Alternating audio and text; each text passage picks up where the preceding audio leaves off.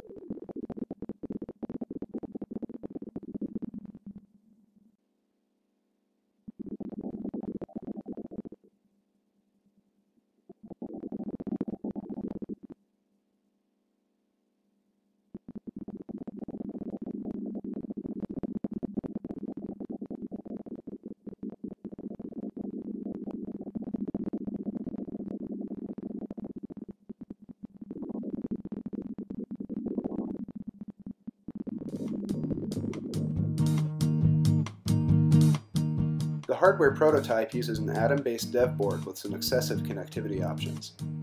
Future hardware plans include a custom controller with an integrated battery and a single USB-C interface for ease of charging and connection for the visually impaired. There are plenty of exciting things to come, and Snap is moving quickly, so stay tuned for future developments. Visit our Hackaday page to stay up to date, to comment, or to ask any questions.